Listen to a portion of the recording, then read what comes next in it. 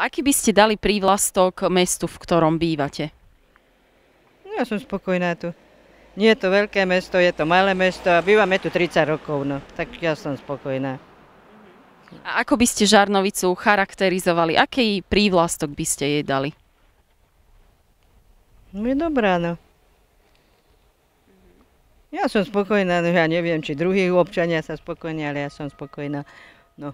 A keby sem prišli nejakí turisti, čo by ste im ukázali v Žarnovici? no to neviem, čo by som im ukázala. Čo tu také je. To ja neviem. Alebo v okolí Žarnovice sú nejaké pamiatky? No však Banská šťavnica, Kremnica, toto by som im ukázala, ale tu Žarnovici ani není čo také ukazovať. No. Aký by ste dali prívlastok mestu Žarnovica? Mesto Žarnovica. No páči sa mi. Je pekné, príjemné, čisté aj. Páči sa mi tu. Je oveľa krajšie ako e, ostatné iné mesta. A o, keď by sem prišli o, turisti, tak o, čo by ste im ukázali? Mm, pohľad z Kalvárie. Na mesto je pekný. A mm, Revište, to je už trošku ďalej. Ale v meste Žarnovica, viete čo, neviem čo. Keby bol ten kaštiel hotový, tak to by sa dalo čo hovoriť, ale to je asi hudba budúcnosti. Tá, ako by si o, opísal toto mesto? No, Ako, čo by si povedal o Žarnovici? Páči sa ti? páči. No, čo, čo je tu? Čo tu nájdeme? A keď e, by sem prišli nejakí cudzí ľudia, čo nepoznajú Žarnovicu, čo by si im ukázal? Že, že ako sa je do kostola. A čo by si im ešte ukázal? Čo tu máme také? Alebo v okolí máme nejaké pamiatky alebo hrady? Hr, hrad je tam hore na Kalvárii, či ako sa to volá. Na Kalvárii nie, ale o, kde je hrad? Ako sa volá ten hrad? Aké podzámčie je to? Čo je pri Žarnovici? Re? Revišské a tam je o, Revišský hrad. Poznáš ten hrad? Uh-huh. A bol si tam už niekedy? Uh-huh. Bol už. Aký prívlastok by ste dali mestu, v ktorom bývate? Mm, to neviem. Bývate v Žarnovici? Bývam momentálne v Žarnovici, ale inak som novobančanka. Tak o Novej Bani by ste dali aký prívlastok? Alebo ako by ste charakterizovali toto mesto? No, malé, krásne, hornaté. Keby ste mali turistom v Novej Bani niečo ukázať, čo by to bolo? Momentálne je tam nová krásna rozhľadňa Haj a, a Tajch. Tam radi chodievame aj v lete, aj v zime.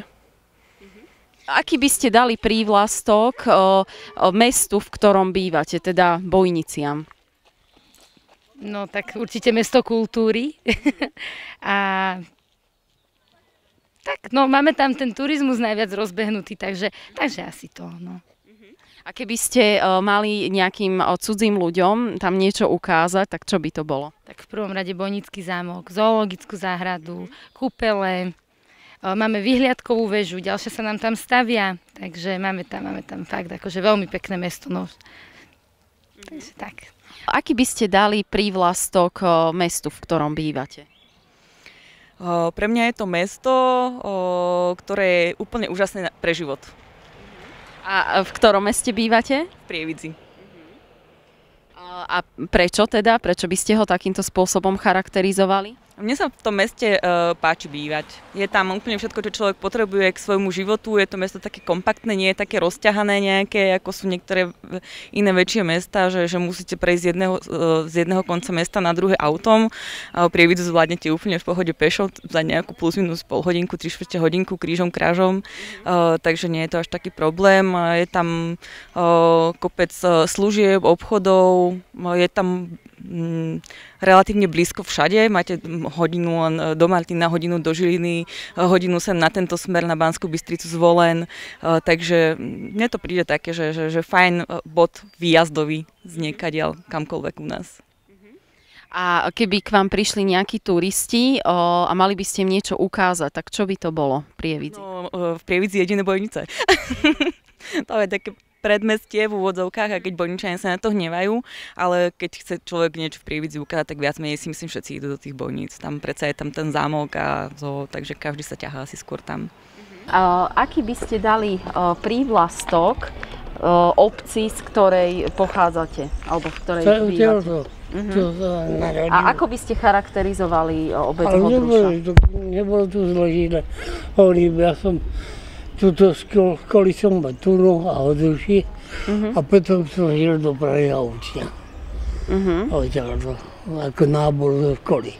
Uh-huh. Robili, bolo všetko plno, stelaričina, lebo mňa bavila stelaričina taková. Uh-huh. A tak som šiel potom do Prahy, povdolné tie skôršie. Uh-huh. Tak som sa ostal, tam uh-huh. som tri roky. Uh-huh. A čo sa vám páči na obci Hodruša? Čo je tu také uh, vhodné pre turistov? A tak tu to je to, co aj tie bane, aj a rybníky a dokola. Dobre tu bolo no, bývať. Uh-huh. Mal potom sa oženil chalup, okolo chalupy, uh-huh. robota a tak. Uh-huh. Neviem, povedal, no, také.